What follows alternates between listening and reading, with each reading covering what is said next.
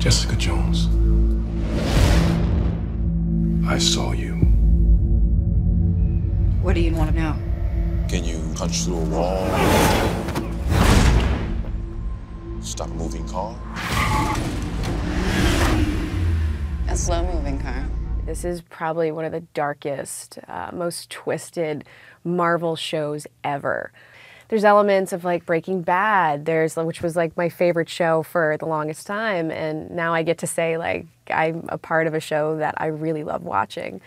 Um, it's just really dark, twisted, and amazing.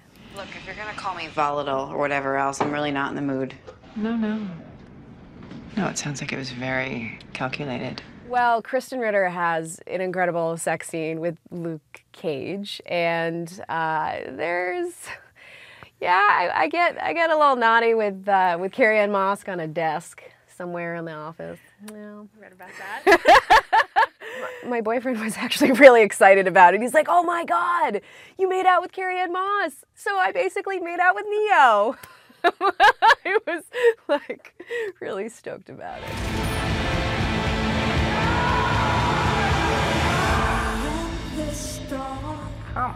Jessica. I am the star. Don't play the hero with me. I am the star.